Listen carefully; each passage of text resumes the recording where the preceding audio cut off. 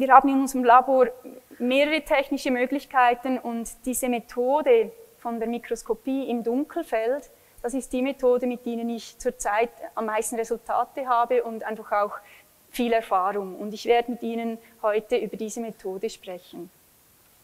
Hier sehen Sie ein Beispiel eines Wassers. Anhand diesem Beispiel möchte ich Ihnen ein wenig den Zugang öffnen zu dieser Art von Bild. Beim Trocknen, ich schaue also einen trockenen Tropfenrest an, da ist kein flüssiges Wasser mehr drin. Beim Trocknen lagert das Wasser seine Sedimente ab, wie ein Fluss, und dann erscheint ein solches Bild eben oder eben nicht. Wenn der Tropfen beginnt von außen her rein zu trocknen und dann sieht man die Bewegungen, die durch, dadurch ähm, entstehen und verstärkt werden und die Bewegungsart und eben wo was abgelagert wird und werden soll, das hängt von der Strukturierung, von der inneren Struktur des Wassers ab.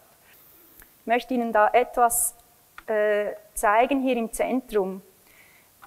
Das ist auch eine Art, wie wir sehen können, dass sich Wasser eben irgendwie organisiert. Und Sie sehen so eine Art wie Kristallanordnung hier.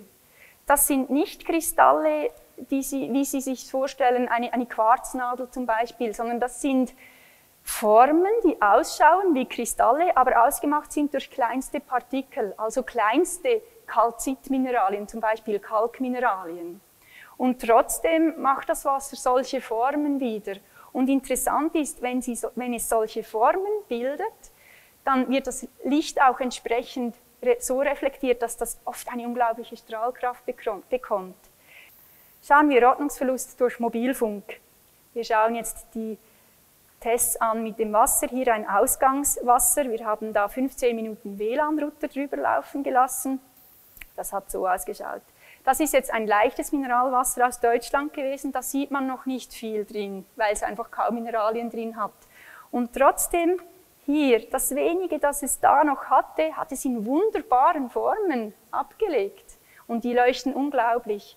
Und das da ist hier nicht mehr vorhanden. Und das ist nicht ein scharf ein unscharfes Bild.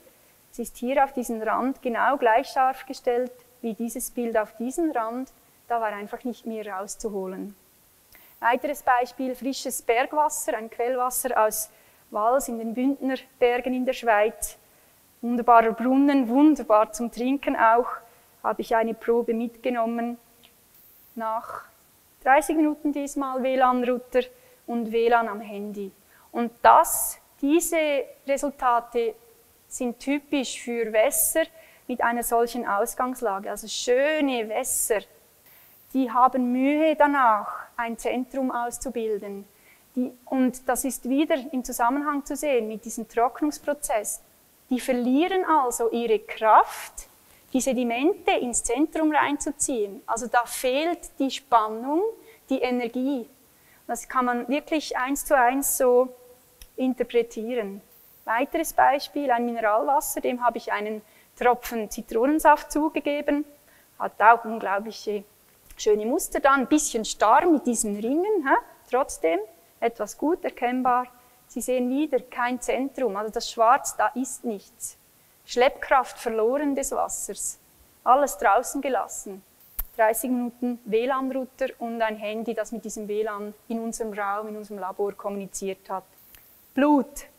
Ja, wir haben schon ein Blutbild gesehen. Wir haben also wirklich dann auch Tests gemacht mit Blut. Wenn man schon ein Dunkelfeldmikroskop hat zu Hause, dann liegt es nahe, dass man auch diese Methode beim Blut anwendet. Hier ein 400-fach vergrößertes Bild, Vorherbild, runde Blutkörperchen, recht gut verteilt im Raum. Und dann das.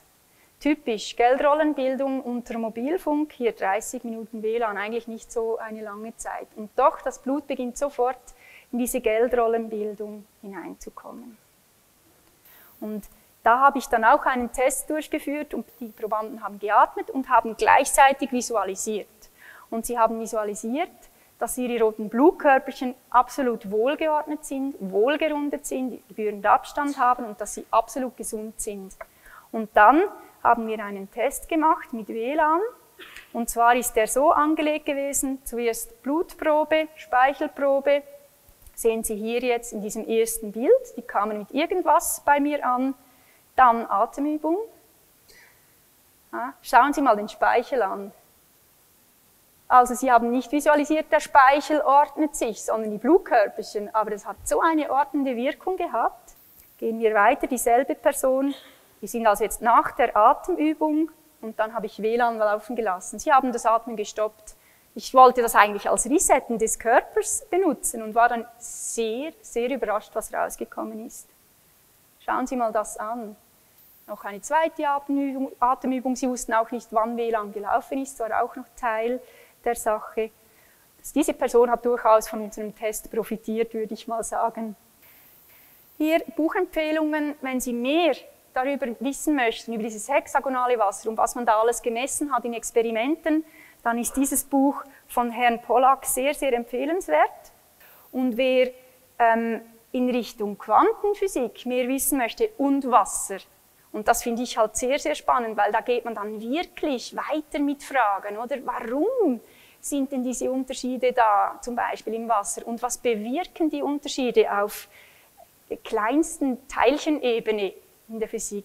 Dann empfehle ich das Buch Bionisches Wasser von Ulrich Warnke. Auch das haben Sie draußen am Büchertisch.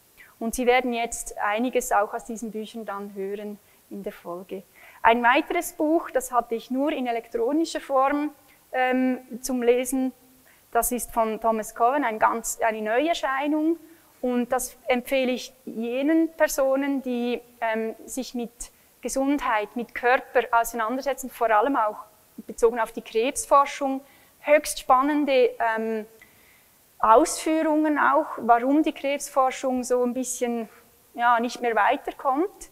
Und eben immer bezogen auf dieses strukturierte Wasser und die Überlegungen eigentlich, die uns Herr Pollack so schön liefert.